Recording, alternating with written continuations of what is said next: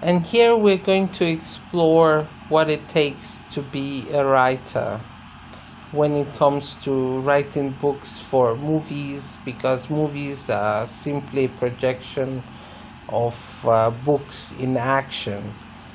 And um, today we are struggling in Africa with having writers, um, and uh, the young need to understand what writing really is.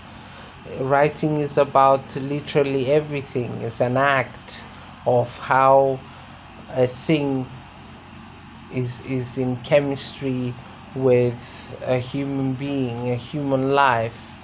And yeah, I'm going to be using big language right now, but they need it simplified.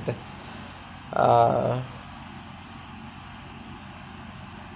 we have poets which I have tried my best hand at, which is what I perceive myself to be good at, and uh, that is where writing actually starts from poetry, simple words, uh, simple sentences, expression of attitude, emotion, feeling through how we perceive the world.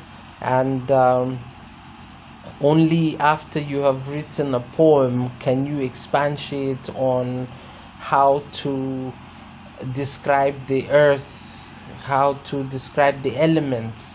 You almost need to understand physics, chemistry, biology, geometry because you're dealing with shapes, sizes, um, colors, and uh, not everybody has that uh, lingual skill in how to um, express them. So usually things have to be left in very simple words, in very simple terms.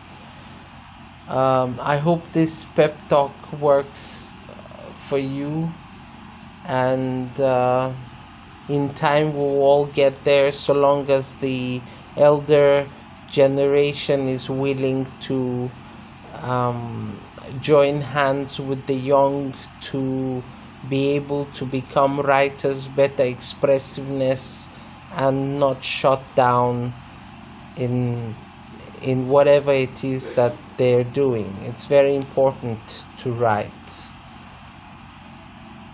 Take care. Paul speaking for Startup City.